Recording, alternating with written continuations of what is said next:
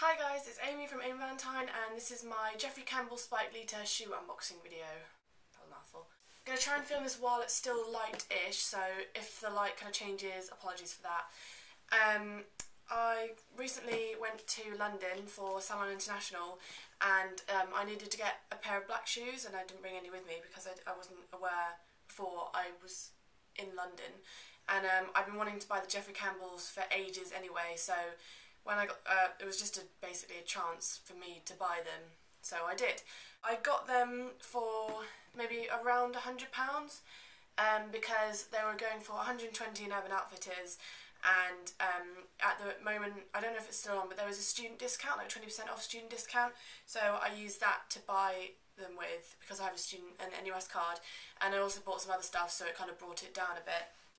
This is the box, typical like Jeffrey Campbell um, the kitty jumper box. And the shoes are really well packaged like this. Um, when I was in the shop there was a pair out but they were literally just like shoes floating around in the box and if I was going to pay that much money for them I'd rather have them brand new with all the packaging so um, I got the um, shop assistant to go and get me a pair of brand new so, and I'm happy I did that because the this, they'd been obviously been worn so there was kind of like bits where someone had like put the spikes into the side of the shoe, like stuff like that. So um, yeah, if you're going to go get a pair, get a brand new unopened pair because it's worth it. So they come in like a big shoe bag and when you open it there is um, like there's like a, a shoe fleece and because the spikes are really sharp take off the and there it is. I've I've worn mine. Um, I wore mine for like most of the weekend that I bought them because obviously I had to wear them for the fashion shows. Um, so, but like, there's hardly any damage apart from kind of you might not be able to see it just where the, I've kind of caught the shoe with the spikes from the other shoe. But um, otherwise, like the sole is totally fine. This pair, this shoe actually, I stood on a hair clip, so there's like a kind of two tiny lacerations, but like otherwise it's fine.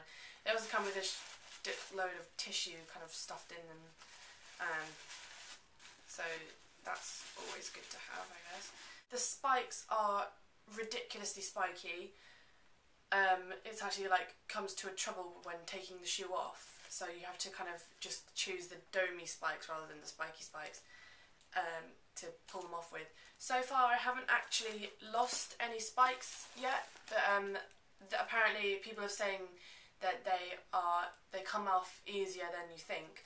But this box actually comes with extra spikes in case that does happen, which I think you just screw in. I don't know. I don't know how they put them in. Um, but they are uh, the true to size. I think um, I I got seven. I am seven, and they fit me fine. They I I don't know like everybody says that they're super comfortable to walk around in. I do find them a lot more comfortable than my other shoes and I can walk in them fine.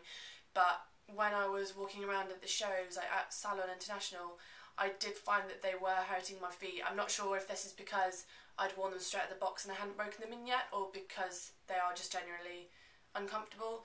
But I didn't, I couldn't personally wear them for a whole day without my feet hurting. Another thing that I don't really like is the gap between the shoe, like the spikes on the top part of the shoe and the spikes on the heel, like there is quite a large gap. Like when you're wearing them kind of from afar, you can't see it, obviously not nearly as much. But um, I really kind of, it is a, a bit of a niggly thing that annoys me. Unfortunately, um, when you're walking, the shoes do, like you, you can do sometimes catch the other shoe on the leather.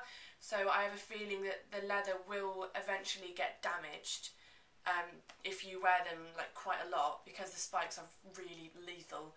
Um, so that is a downside of the leather. That's why I think the suede would be good. But then again, the, the damage would only be on the inside of the shoe, so it's not really a very open thing.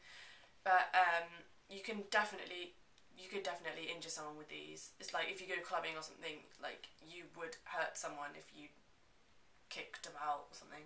So yeah, um, I'll give you a little snippet of me walking around.